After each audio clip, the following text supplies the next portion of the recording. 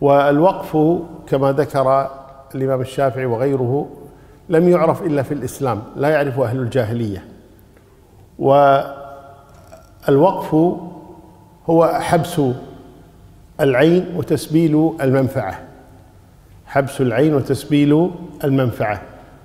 فلا يباع ولا يورث ولا يوهب ولا بد أن يكون على جهة بر.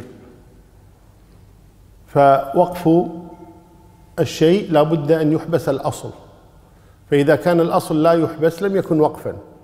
ولذلك لا يصح وقف الطعام ولا الشراب ولا كما سيأتي إن شاء الله تعالى ولا وقف ما ينفد. لأن الأصل في الوقف أن يبقى الأصل يستفاد منه مع بقاء أصله. فالطعام مثلا لا يوقف لأنه واحد من اثنين إما أن يستفاد منه وإما لا يستفيد منه أكل. إذا لم يبقى الأصل فإن لم يستفد منه ما في فائدة إذن. لماذا أوقف؟ فلا بد من حبس الأصل وتسبيل المنفعة. كالبيت مثلا. البيت قائم. ينتفعون بالسكنى فيه والبيت قائم. فحبس الأصل وتسبيل المنفعة. والأصل أنه لا يكون إلا على بر كما سيأتي إن شاء الله تعالى يعني تقرب إلى الله تبارك وتعالى. ولذا لا لا يعرف أهل الجاهلية. لأنه من عمل أهل الإسلام.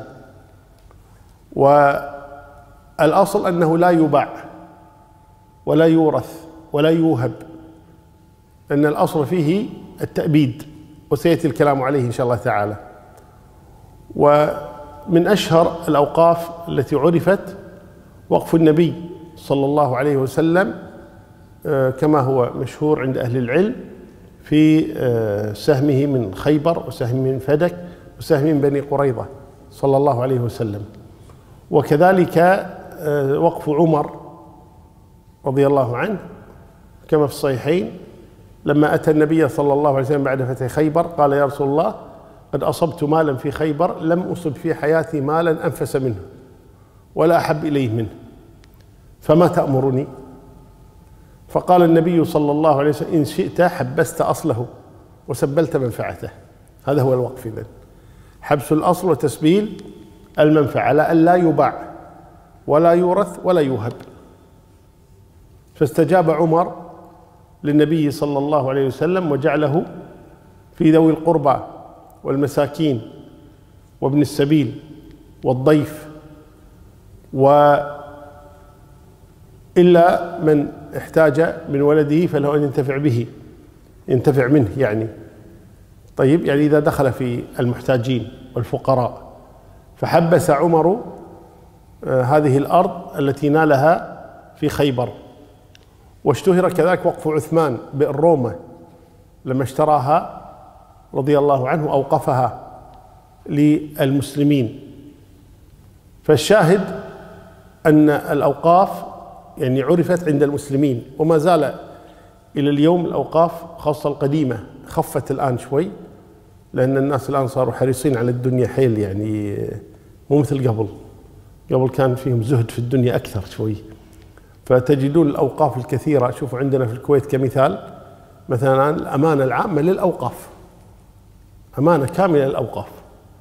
وفيها أكثر من ألف موظف بس لأجل الأوقاف فقط أوقاف الناس التي أوقفوها في السابق. فالشاهد من هذا أن أن الوقف سنة. والوقف له ثلاثة أحكام كما قال أهل العلم. قد يكون مستحبا وقد يكون واجبا وقد يكون محرما. يكون مستحبا هذا هو الأصل فيه. الأصل في الوقف أنه مستحب. يستحب الإنسان أن يوقف. إذا كان عنده فائض من المال يستحب له أن يوقف. ويكون واجبا بالنذر. إذا نذر أن يوقف صار واجبا لأن الوفاء بالنذر واجب. ويكون محرما إذا قصد به حرمان أولاده أو ورثته بشكل عام. لماذا أوقفت؟ قال حتى لا يرثون حتى لا يرثوا مني شيئا أريد أن أحرمهم. وهنا ما أراد بها برا وما أراد بها التضييق والإيذاء والحرمان فيكون حراما هنا. فالأصل فيه الاستحباب.